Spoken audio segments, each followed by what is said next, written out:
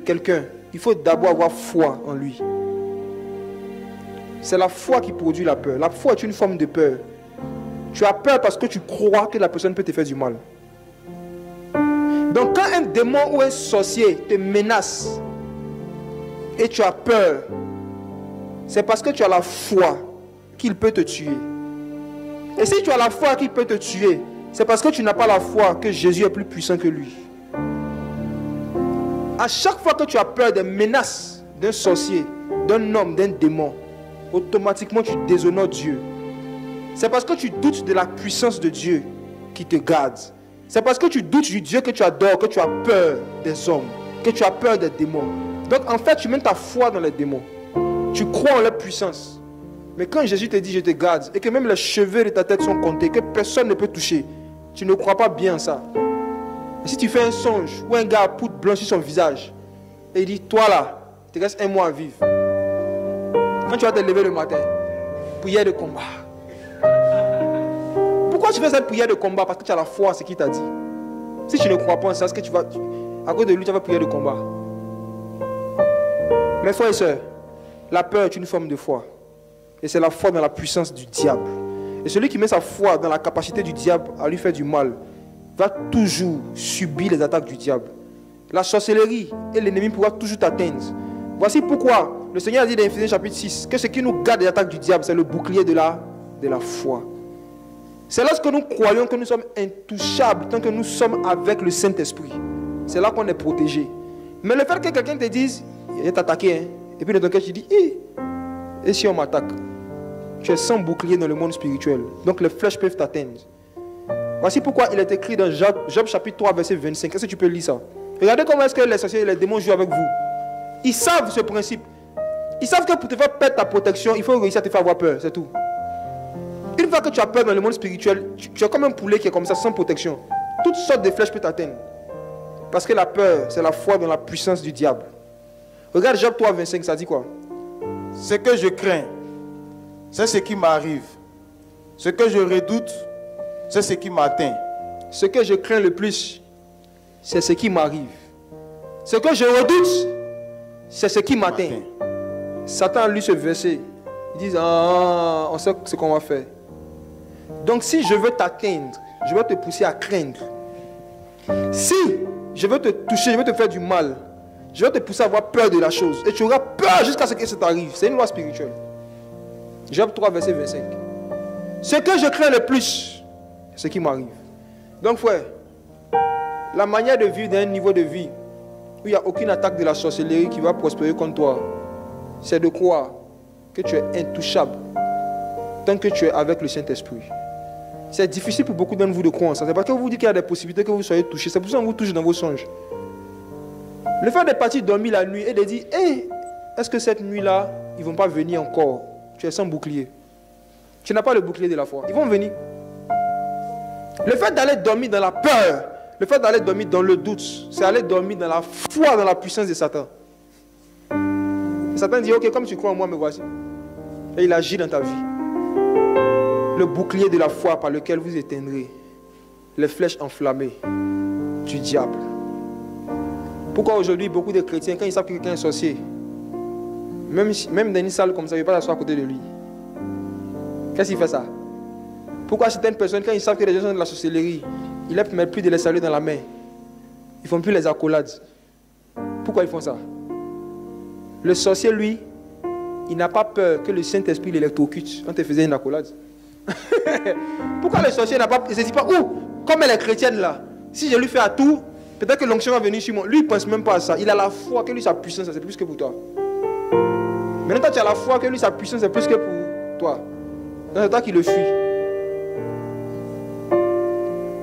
Dans la Bible de Satan, je suis sûr qu'il y a un verset où Satan écrit à ces gars là-bas qu'en mon nom, ils chasseront les chrétiens.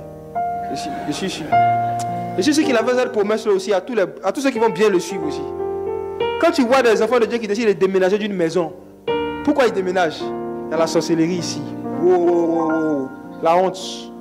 Tu es vaincu. Jésus a dit à ses disciples, en mon nom, ils chasseront les démons. Maintenant, vois-toi sur qui cette promesse est en train de déménager à cause des démons. Hein? Il dit que les démons me sont étonnés. Ces démons, c'est eux qui sont les disciples de Jésus, mais c'est toi. Qui chasse qui? Normalement, c'est à, cause de toi que des occultistes, des gens qui sont dans le vaudou, dans la sorcellerie, doivent être mal à l'aise dans le bâtiment, dans le quartier. Normalement, à cause de toi, ils doivent dire on va déménager de ce quartier. Parce que la nuit, quand on essaie de faire nos choses ici, il y a un niveau de vie qui se manifeste qu'on ne connaît pas, qui nous empêche d'agir. Normalement, les mystiques doivent déménager à cause des disciples de Jésus. Mais aujourd'hui, tu vois, les disciples de Jésus, ils déménagent, ils à la maison hantée. Toi-même, tu es hanté, c'est pour ça que tu fuis. Tu es hanté par la peur.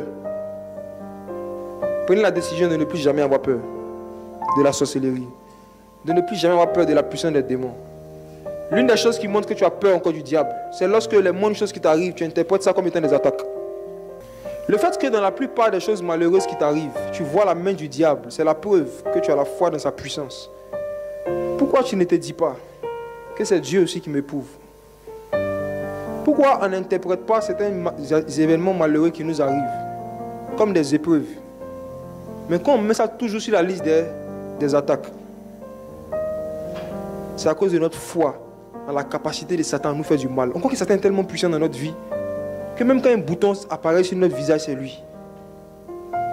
Ça veut dire qu'on est tellement ignorant ou incrédule vis-à-vis de la protection que Jésus nous donne qu'on attribue tous les malheurs qu'on a à Satan. C'est comme si Jésus ne fait pas son travail, quoi. Il ne fait pas son travail. C'est comme si tu, es là, tu es abandonné à toi-même. Et puis je dis, un petit sorcier qui vient enlever tes cheveux, il y a un autre qui vient enlever tes ongles.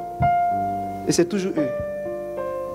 Job, la Bible nous parle d'un homme qui était là, qui était riche, qui avait un certain niveau de vie sociale et un niveau de vie spirituelle très élevé. La Bible dit qu'un jour, on vient lui annoncer que ses enfants sont morts, après qu'il a perdu tout son troupeau, après il a eu des ulcères sur tout son corps. Et sa femme lui a dit, toi, sais ce qu'on va faire? Maudit Dieu et meurt. Et qu'est-ce que Job a dit? Il dit que si nous acceptons le bien qui vient de Dieu, pourquoi est-ce que nous n'accepterons pas aussi le mal qui vient de Dieu? Qui avait dit à Job que le mal qu'il était en train de vivre venait de Dieu? Personne. C'est la connaissance de la nature et du caractère de Dieu. Qu'en fait qu'il a su que si lui, en tant qu'un juste, en tant que quelqu'un qui marche avec Dieu, il y a des événements malheureux qui lui arrivent comme ça. C'est que c'est Dieu qui a permis. C'est Dieu qui a permis. Or, dans le monde spirituel, qu'est-ce qui s'était passé? La Bible dit que Satan était allé voir Dieu pour lui dire, je veux attaquer Job, je veux détruire ses affaires. Et Dieu lui a permis. Mais Job n'était pas au courant de ça. Et c'est Satan qui a détruit les affaires de Job, ce n'est pas Dieu. Vrai ou faux? Il a dit à Satan, j'enlève la protection, va, mais seulement ne touche pas à sa vie. Donc tous les dégâts qui arrivent dans la vie de, Job venaient de Satan. Mais malgré que ça venait de Satan, Job était dans un niveau de vie où il voyait la main de Dieu derrière la main de Satan. Il regarde ce qui lui arrive. Il sait que c'est satanique, mais il dit, c'est le mal qui vient de Dieu. Il a pris la décision que nous devons prendre aujourd'hui de ne plus glorifier le diable, de ne plus lui donner gloire, même dans les souffrances qu'on va vivre. Que lorsqu'il nous arrive des choses douloureuses, on dit ça, ça vient de Dieu. Si ce n'est pas le cas, Dieu va nous dire le contraire. En attendant, on considère que nous lui appartenons. Et que tout ce qui nous arrive en bien comme en mal, ça vient de lui. Parce que c'est lui qui est chargé de nous garder. Donc s'il ne nous a pas gardé que ça arrivé, c'est que c'est le mal qui vient de Dieu. Lorsqu'on met quelqu'un comme étant un gardien quelque part et qu'une chose se perd, qui est responsable? C'est le gardien. S'il y a quelque chose qui se perd, c'est la perte qui vient du gardien. Les voleurs ne sont pas les premiers accusés. Si tu es en Jésus, qui te garde? Ton corps est le thème de qui? Ton corps est le thème de qui? Si quelque chose de mal arrive à ton corps, qui est responsable? Laissez les démons. Alléluia. Quand tu arrives à ce niveau de vie, où tu es capable même de voir la main de Dieu derrière la main du diable qui est en train d'agir, où tu vois que le diable est en train d'agir dans ta vie avec une permission divine, tu ne cites même pas dans ton affaire. Job n'a même pas cité Satan. Il parlait de Dieu seulement. Et c'est ça qui a touché Dieu. Dieu dit que tu as parlé de moi avec droiture. tu as parlé de moi avec droiture. Tu as compris que c'est lui qui m'appartient. Tout ce qui là m'appartient. Si tu es intègre et que des choses comme ça t'arrivent, c'est que c'est moi qui ai permis. Laisse Satan. Adore-moi. Il va régler son compte. Si tu crains Dieu et qu'il y a un ensemble d'événements malheureux qui t'est arrivé ces derniers mois, si tu crains Dieu et qu'il y a un ensemble de malheurs, de souffrances qui te sont arrivés, il faut que tu parles comme Job aujourd'hui. Le mal qui vient de Dieu. Alléluia. Le mal qui vient de Dieu. Pourquoi est-ce que Dieu nous fait mal souvent? Il nous laisse avoir mal, il nous laisse vivre des choses douloureuses. C'est parce qu'il nous aime. Plus tu vas dire à Dieu qu'il est un Dieu fidèle, et plus tu vas vivre des choses douloureuses, des malheurs. La Bible dit que le malheur atteint souvent le juste, mais Dieu le délivre toujours. Être juste, ce n'est pas vivre une vie sans qu'il y ait des malheurs qui te touchent, mais c'est vivre une vie où il y a des malheurs qui te touchent même souvent. Selon les Écritures, le malheur avant le juste, mais tu expérimentes toujours la délivrance. Toujours. Il te délivre toujours, au point où le malheur ne te ferait plus. Tu connais la finalité. Ça veut dire qu'un événement malheureux va commencer dans ta vie, c'est comme un film brésilien. tu regardes, tu sais comment ça commence, tu sais comment ça va, ça va finir. Tu seras délivré encore. Donc tu ne pourras plus t'inquiéter, tu ne pourras plus paniquer, perdre ta joie quand il y aura un malheur, parce que le Seigneur te délivre toujours. C'est une question de temps. C'est une question de temps. Et frères et sœurs, voici pourquoi est-ce que Dieu nous blesse? Parce qu'il est fidèle. On va regarder un passage très bizarre dans le Proverbe. Les blessures d'un ami prouvent sa fidélité. Ça, c'est un niveau de vie auquel beaucoup d'enfants de Dieu ne veulent pas avoir accès. La fidélité de Dieu. Proverbe, chapitre 27, c'est ça, verset 6. Et tu peux lire ça, s'il te plaît. Les blessures d'un ami prouvent sa fidélité, mais les baisers d'un ennemi sont trompeurs. Qui est censé être notre meilleur ami? C'est qui? Ta Bible te dit que les blessures qui viennent de ton ami prouvent sa fidélité. Le cerveau humain ne peut pas comprendre ça. Comment quelqu'un te blesse? On dit, c'est parce qu'il est fidèle. Les blessures d'un ami prouvent sa fidélité. Il y a des personnes qui ont tellement désiré à vivre la fidélité de Dieu qu'il y a des malheurs qu'ils ont commencé à vivre. Parce que Dieu voulait leur faire expérimenter sa fidélité. Et en quoi est-ce que les blessures d'un ami prouvent sa fidélité? Allons voir une explication un peu plus claire dans Ecclésiaste chapitre 7.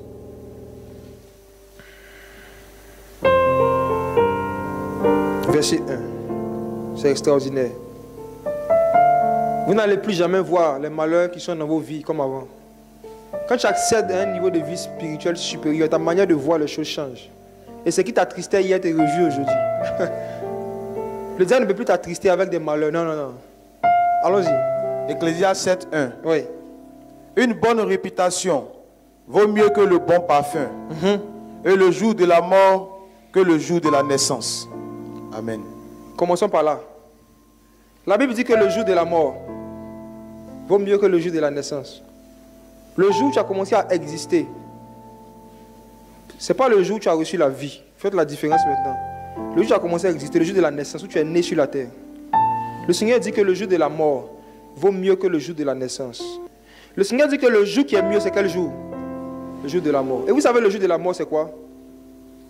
C'est le jour où tu reçois Jésus dans ta vie. Parce que quand tu reçois Jésus dans ta vie, tu meurs avec lui. Et tu ressuscites avec Christ. Et celui qui croit en Jésus ne mourra jamais. À partir du moment où tu as reçu Jésus, tu ne vas plus jamais expérimenter la mort. Donc toi, en fait, le jour de ta mort, c'est le jour de ta conversion. Le jour de ta conversion où le vieil homme est mort, tu es mort à ton ancienne vie, ça vaut mieux que le jour de ta naissance. Voici pourquoi vous qui ne fêtez pas le jour de votre nouvelle naissance, vous qui ne fêtez pas le jour de votre conversion, mais qui fêtez seulement le jour de la naissance de cette chair qui vous a créé tous ces problèmes, revoyez votre vie. Revoyez-vous. Si le jour où vous avez expérimenté la mort et la résurrection avec Christ, vous, vous, estimez qu'on n'a pas besoin de fêter, pourquoi dans ce cas le jour de la naissance est si important pour vous? Parce que la Bible dit que le jour de la mort vaut mieux que le jour de la naissance. Le jour où le péché est mort dans nos vies, c'était le meilleur jour. Le jour où nous sommes nés selon la chair, c'est là que nos problèmes ont commencé. Qui ici, lorsqu'il est né, n'a pas pleuré? Dès qu'il est sorti du ventre de sa mère. Quand un enfant est dans le ventre, il ne pleure pas. Et quand il sort, il commence à pleurer. Parce qu'il sait, les problèmes ont commencé. Le jour de la mort vaut mieux que le jour de la naissance. Si vous n'acceptez pas cette vérité, il y a des niveaux de vie dans le royaume des cieux auxquels vous n'allez pas avoir accès. On doit accepter ce que la parole de Dieu dit, pas ce qu'on pense, ou la culture dans laquelle on a grandi. Le jour de la mort, c'est-à-dire le jour de la conversion, vaut mieux que le jour de la naissance. Maintenant, pourquoi est-ce que les blessures d'un ami poussent à fidélité? Allons au verset 2. Bon, gagnons du temps. hein. Allons directement au verset 3. Allons, verset 3. Vous pouvez lire tout ça après. Verset 3 rapidement. Allons, Ecclésias Ecclésias 7, verset 3. Chapitre 7, verset 3.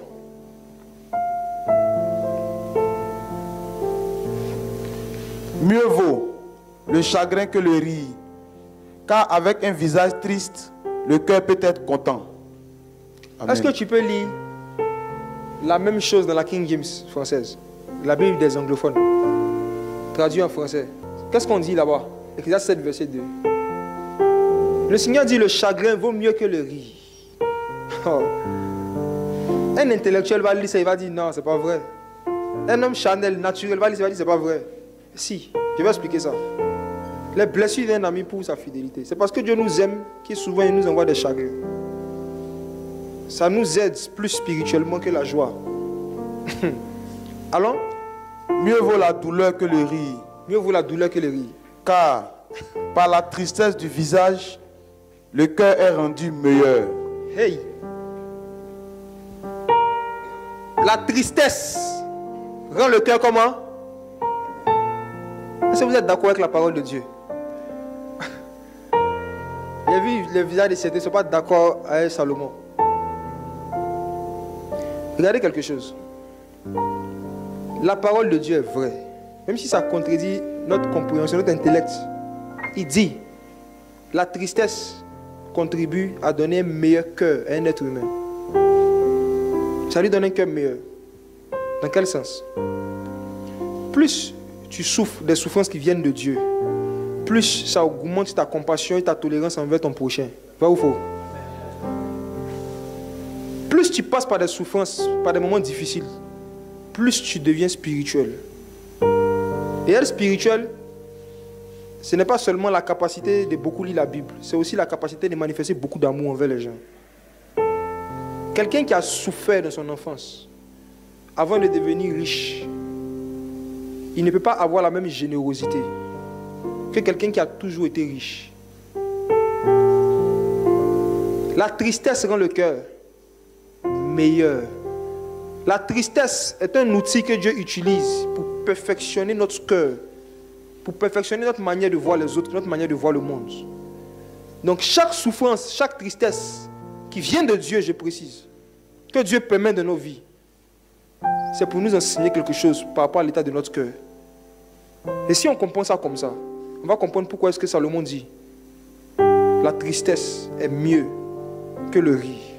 Le chagrin, la douleur est meilleur que la joie. Et comme Dieu veut rendre notre cœur meilleur parce qu'il est fidèle, il permet des blessures. Les blessures d'un ami prouvent sa fidélité. Et vous savez, ce qui est dommage dans la vie d'un enfant du Seigneur, c'est de passer par des malheurs, par des douleurs et de ne pas en tirer des enseignements. Tu aurais souffert pour rien. Le fait de ne pas en sortir avec un cœur, un meilleur, le fait qu'après une expérience humiliante, une expérience douloureuse, tu n'as pas, pas eu un meilleur cœur, tu as souffert pour rien. Je vous donne un conseil. Si vous voulez que la vie de l'Esprit, l'onction du Saint-Esprit, soit toujours sur vous, chaque fois que vous passez par des moments de douleur, par des moments de souffrance, ne cherchez jamais la solution pour sortir de ça. Votre premier réflexe, lorsque vous avez un problème, ne cherchez pas la solution du problème. C'est une erreur. Cherchez d'abord l'enseignement du problème. Chaque fois qu'il y a un malheur, il y a une douleur qui vous touche, la première chose pour laquelle vous devez prier, ce n'est pas Seigneur, délivre-moi. C'est Seigneur, enseigne-moi à travers ça. Et après, délivre-moi. Parce que si tu me délivres sans que tu ne m'aies enseigné, j'aurais souffert pour rien. Les blessures d'un ami pour sa fidélité. La tristesse est meilleure que le rire. Je suis d'accord avec Salomon. Et vous savez, frères et sœurs, l'éclairage, la connaissance, la révélation de la parole de Dieu sort toujours des situations difficiles. Toujours. La première fois que Dieu a dit que la lumière apparaisse, dans 2 Corinthiens, l'apôtre Paul dit que Dieu a dit que la lumière sorte des ténèbres. Ça veut dire que dans chaque ténèbre, il y a une mesure de lumière qui est cachée. Dans chaque moment obscur, moment sombre par lequel on passe, il y a de la lumière.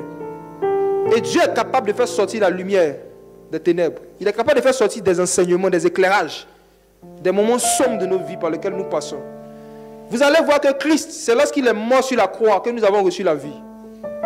C'est sa mort qui nous a donné la vie. Donc la vie est sortie de quoi? Samson, il avait rencontré un lion. Et la Bible dit qu'il a tué le lion. Et quand il a tué, qu'est-ce qu'il y avait à l'intérieur? Du miel. Et il est allé proposer une énigme à ses ennemis aux Philistins.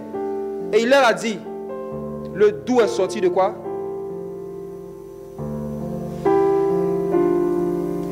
Frères et sœurs, les choses les plus succulentes, le miel de l'esprit sort toujours de la douleur.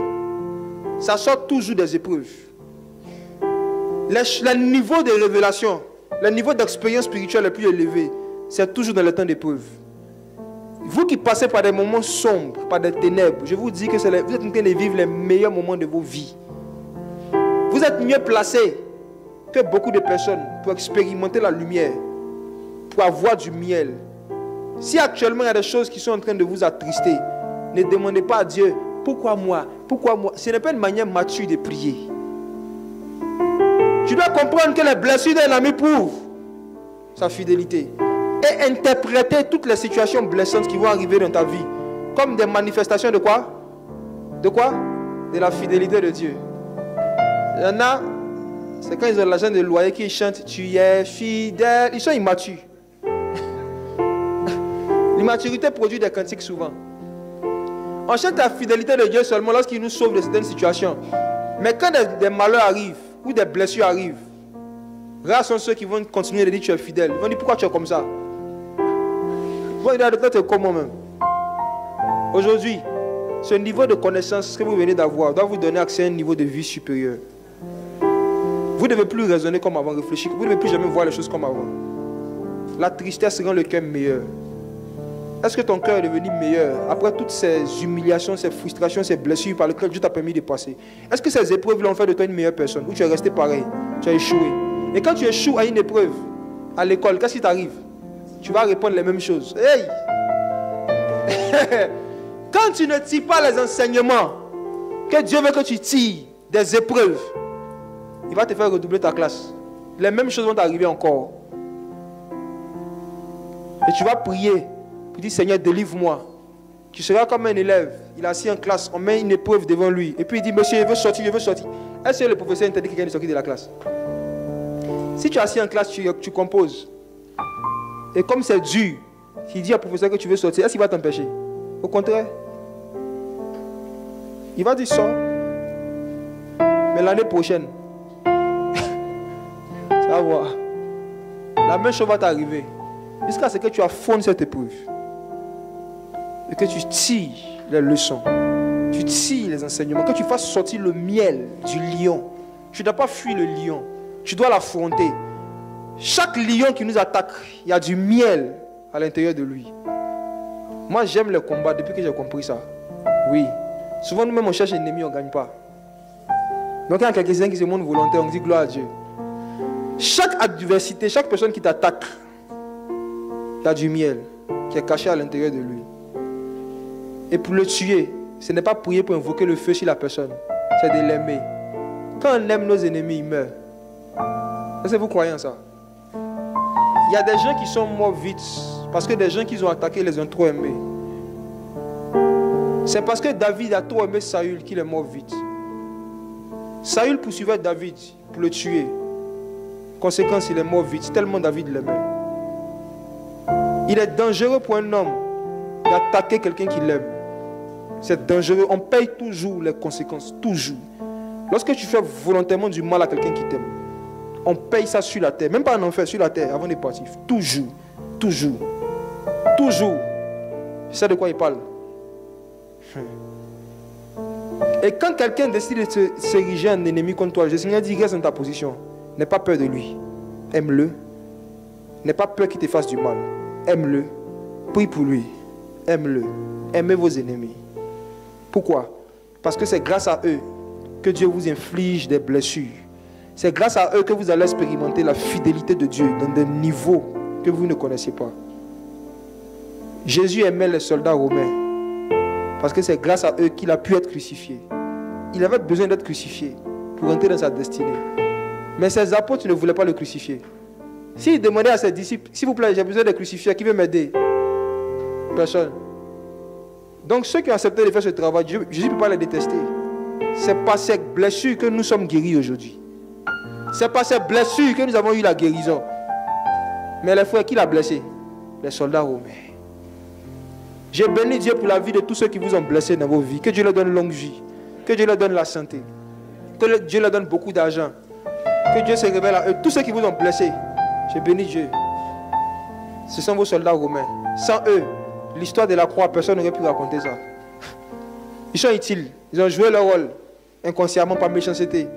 Dieu nous aime tellement qu'il utilise même la méchanceté des gens en notre égard pour nous révéler sa fidélité.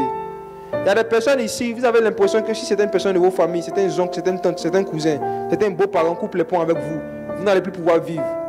Dieu va vous montrer que la vie, c'est lui. Il y a des situations que vous allez vivre. On va vous clasher. Les gens vont se séparer de vous. Malgré toutes les compromissions que vous faites pour toujours être bien avec eux. Il y a trois personnes ici, ce sont des femmes en particulier. Avant votre mariage, le Saint-Esprit vous avait déjà prévenu que vous n'allez jamais vous entendre avec votre belle famille. Ça n'allait pas être de votre faute. Mais ça allait être surtout à cause du fait qu'ils n'étaient pas d'accord avec le mariage, le choix de leur fils. Le Seigneur vous a prévenu. Aujourd'hui, vous êtes dans des foyers. Vous essayez de faire des choses pour tisser des amitiés avec eux. Vous allez être blessés. Il y a une qui a commencé déjà à être blessée. On va vous parler mal. On va vous ignorer. On va vous mépriser. Parce que vous voulez forcer pour créer une amitié que Dieu vous a déjà prévenu qui ne va jamais exister.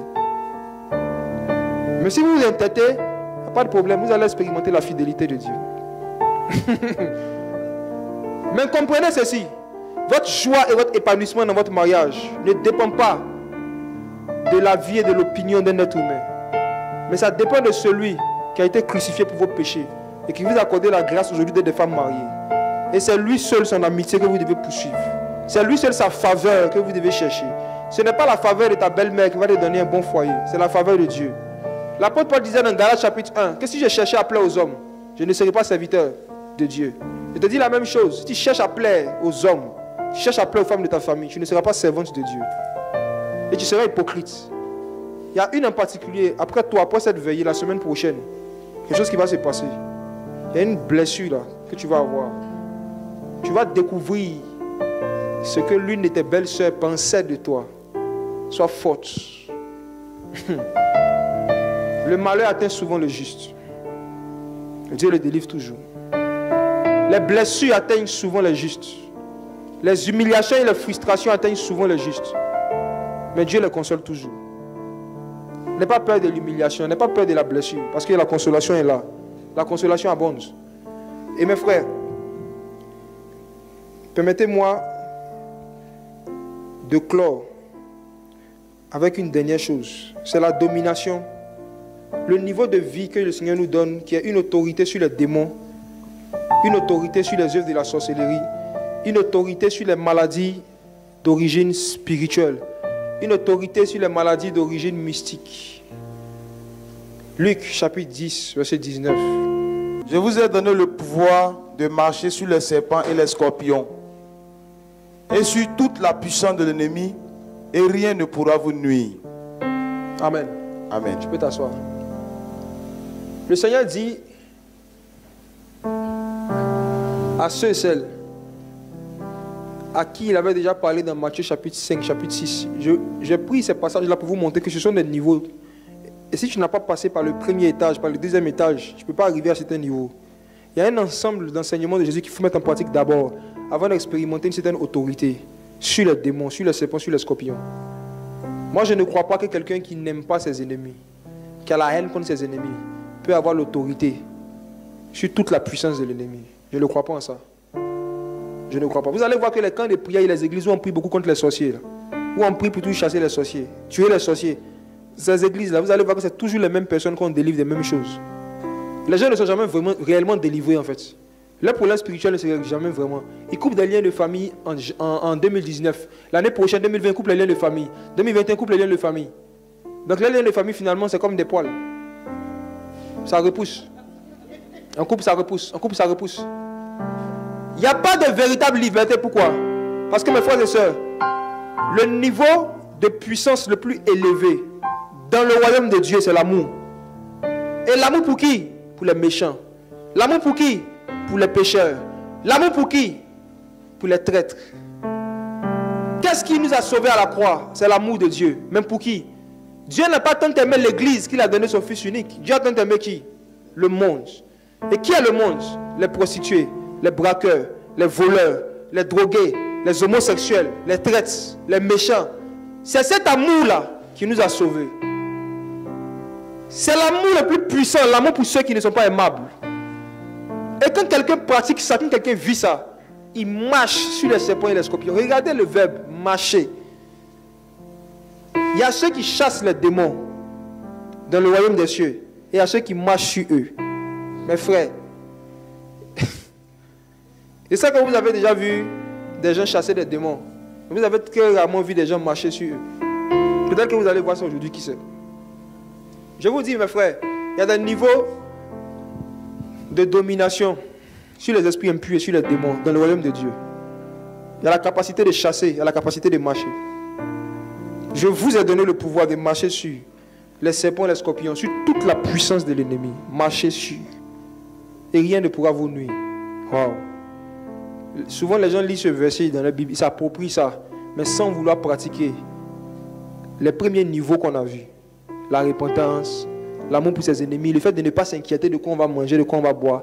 Les gens sautent tous ces étapes et puis ils tombent dans, dans Max 16 en même temps. Pouf C'est pas comme ça.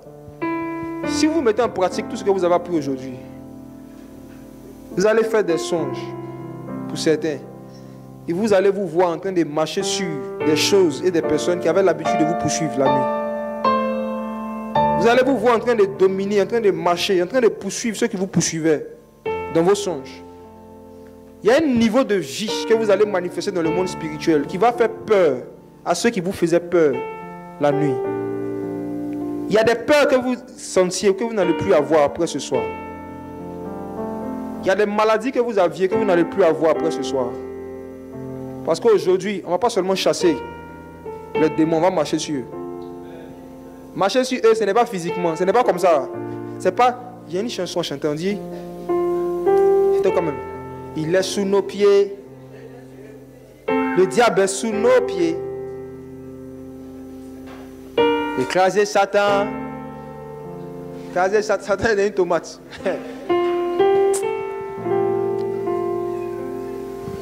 Dans le monde spirituel, quand le Seigneur parle de marcher, n'ayez pas une définition comme dans le monde physique où marcher, ça y est comme ça, et puis on fait comme ça. Non.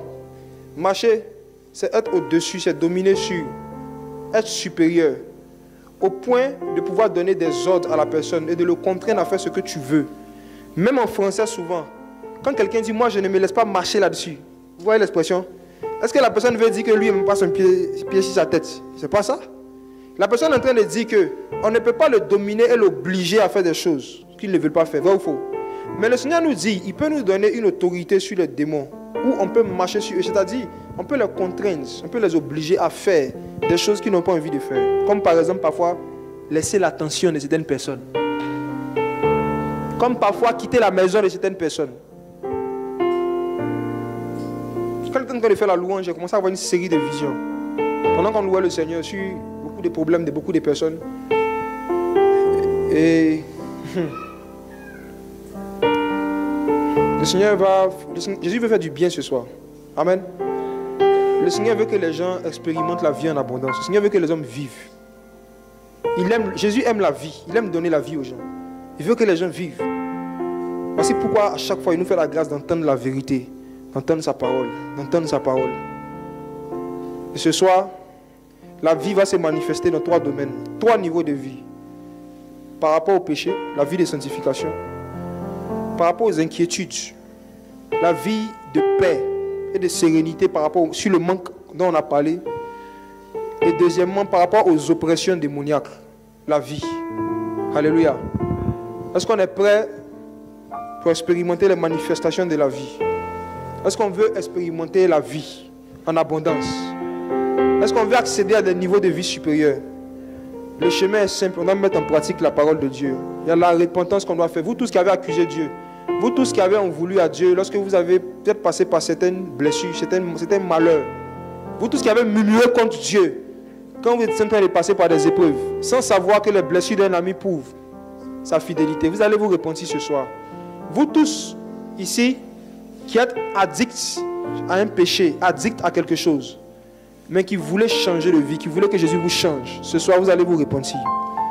Vous allez prier. Jésus est dans la salle. Vous savez, la présence de Jésus est extraordinaire. Et le Seigneur ne vient pas toujours sous la même forme. Aujourd'hui, le Seigneur va se manifester à nous comme l'esprit de vie. On va prier le Seigneur. Est-ce qu'on peut se tenir debout? J'aimerais maintenant prier pour des personnes de manière spécifique. Est-ce qu'il y a quelqu'un ici qui a, ces derniers jours-là, parfois des douleurs au niveau de son crâne précisément, pas toute la tête, mais des douleurs à ce niveau-là parfois, comme si ta tête bas. Et puis après ça s'arrête. Esprit d'infimité. Je vous ordonne de vous éloigner d'elle au nom de Jésus-Christ.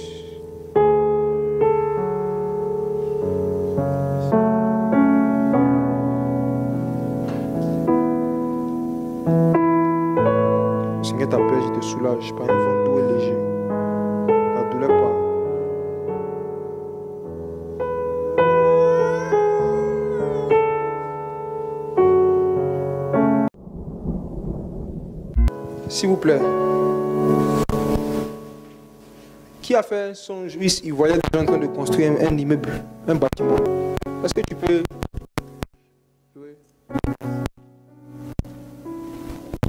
Et moi. ah, J'ai tant besoin de toi. Comment ça va? Tu as fait le songe quand? Fait le songe depuis euh, le mois passé. D'accord. L'immeuble en question ça, me, ça me revient à chaque fois. L'immeuble en question, hein, c'était un peu comme gris, blanc, Oui, couleur comme ça, non? Oui, oui. Ok. Et euh, parmi ceux qui étaient en train de construire la maison, il y a certains qui avaient porté euh, des casquettes et d'autres qui n'avaient pas. Oui, oui. My God. D'accord. La vie. Ok.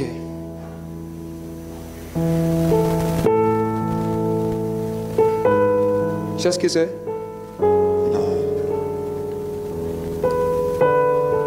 Ces personnes que tu as vues dans cet immeuble blanc, certains qui avaient des casquettes, qui n'avaient pas, les casquettes étaient jaunes. Oui. Ok.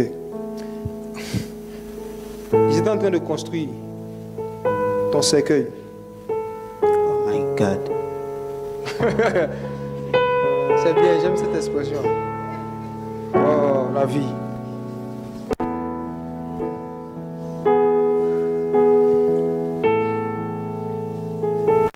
En fait, il y a un niveau de vie par rapport à l'esprit de prophétie qui est au milieu de nous, c'est incroyable. Regarde, dans le songe en question, il y a un détail que tu as oublié. Pendant que je vais parler, tu vas t'en rappeler. Parmi eux, c'est comme si celle qui était en train de. La personne qui, qui donnait, comme qui dirigeait un peu le c'était une femme. Je te rappelle de ça? Yes. Tu vois un immeuble en construction blanc. Je vois des hommes. C'était avec des casquettes, n'avait pas. C'était avec la casquette jaune. Oui. En bas, la personne qui conduisait les travaux, c'était une femme. Et la femme en question, ce n'était pas une femme noire. Non. C'était une femme blanche. Oui. Ok. Allons, allons encore. Regarde. Est-ce que tu te. tu- parce que je vois, la, je vois la scène. C'est pour ça que je la décris si aisément. Est-ce que tu te, tu te rends compte, tu te rappelles que dans la construction, il n'y avait pas les portes encore? Il n'y avait pas une porte? Non, il n'y avait pas. Ok. Alors, regarde mon frère. C'était ton cercueil que j'étais en train de construire. Et la femme que tu as vue là, c'est un esprit que dans la Bible, la Bible appelle Jézabel. Tu comprends? Ce n'est ce n'est pas, ce n'est pas un individu en particulier, c'est un esprit qui peut influencer n'importe quel individu. Jézabel. Et ce qu'elle est en train de construire là, ils ont écrit dessus. Ça dit que quand on va derrière le bâtiment, chose que tu n'as pas faite parce que tu regardais la vision comme ça, le Seigneur m'envoie plus loin.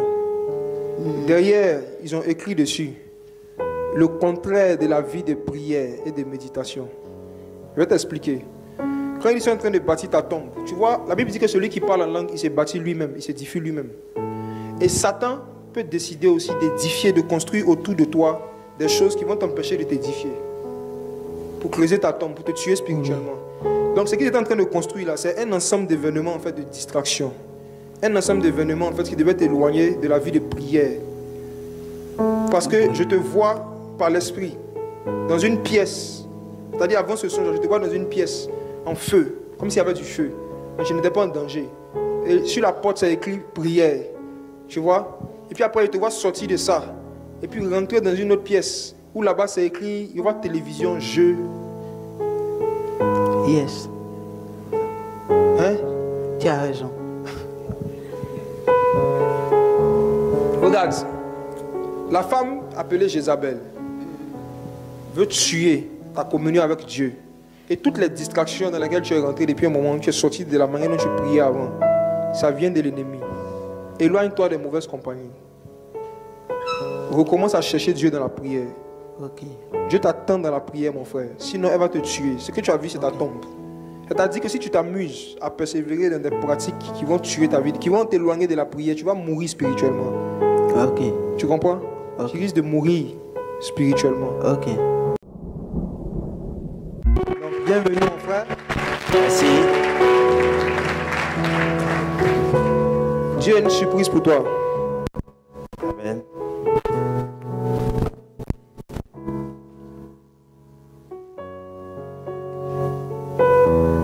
Il y a un sujet de prière que tu as fait monter vers Dieu à plusieurs reprises. C'est par rapport à un véritable réveil spirituel dans l'église où tu vas. Amen. Viens, viens s'il te plaît. La vie.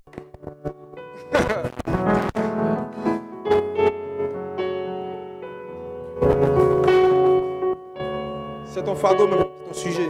Amen, amen. Et il y a deux choses en particulier que tu as demandé à Dieu que tu veux voir se manifester là-bas. Première chose, tu as dit que tu veux que Dieu leur vraiment accorde la grâce de bien comprendre les Écritures. Amen. C'est ça? Amen. Et la deuxième chose, tu as demandé les guérisons des malades, les miracles. Amen. C'est ça? Amen. Ok. Dieu a entendu ces prières-là en question.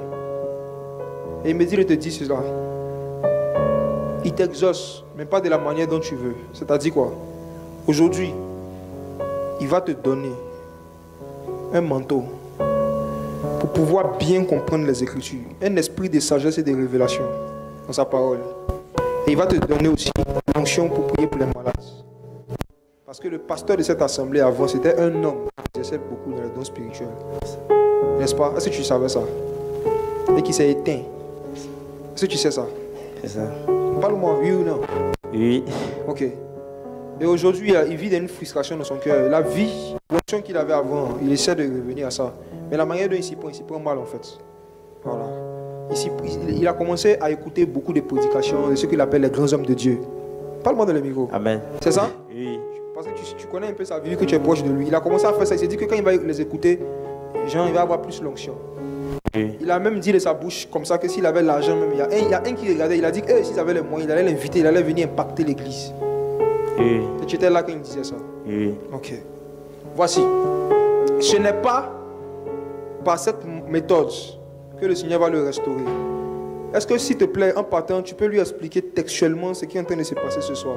Et tu lui dis que quelqu'un que tu ne connais pas et qui ne le connaît pas, mais que Jésus connaît, a dit telle, telle chose. Et tu donnes les détails. Tu lui dis que le Seigneur dit, il va le restaurer dans le jeûne. Tu lui dis que le type l'a dit de la part de Jésus, que c'est dans la vie de jeune et qu'il doit arrêter d'écouter ce qu'il appelle grand homme de Dieu. Parce que autrefois, quand Dieu a commencé à l'utiliser, il n'avait même pas l'argent pour avoir accès à Internet. C'était sa Bible seulement qu'il lisait. Et le Saint-Esprit l'enseignait. Et c'est les enseignements qu'il avait reçus du Saint-Esprit qu'il a pris pour aider les gens.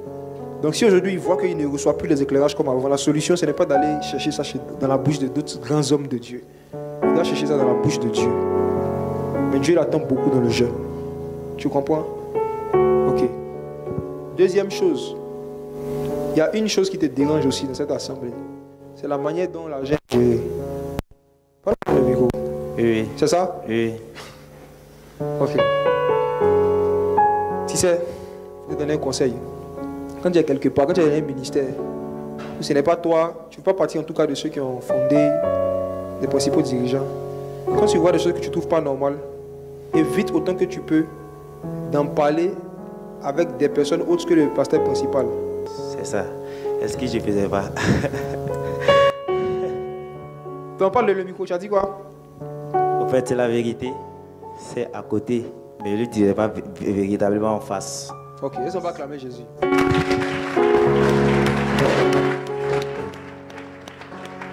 Ok. Donc, il faut arrêter ça, sinon ça te crée des problèmes. Parce qu'il y a une personne à qui tu as parlé de ça qui risque de glisser un mot de ça au pasteur cette semaine-là. Donc, il faut, la- faut dévancer la personne. Quoi. Voilà, va.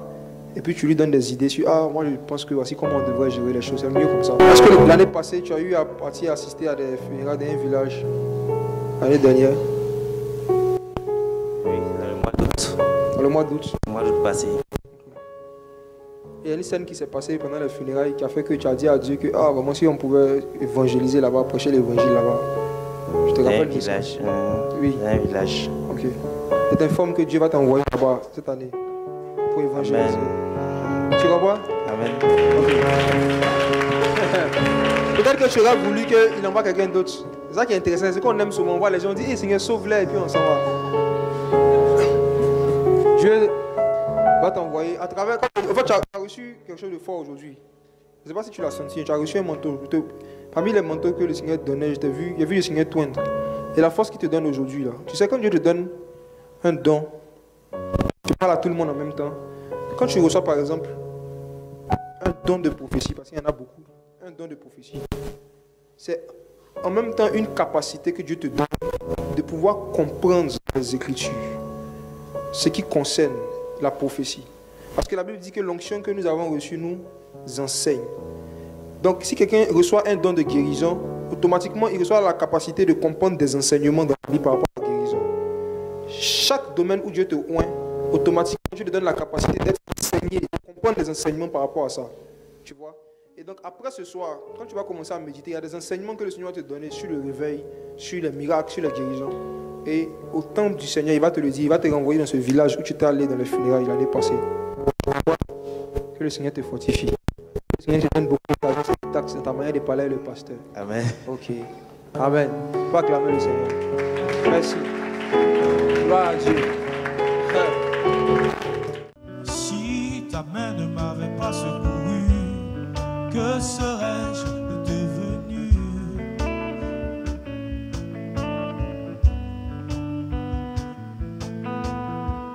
Car de la boue du péché, tu m'as fait sortir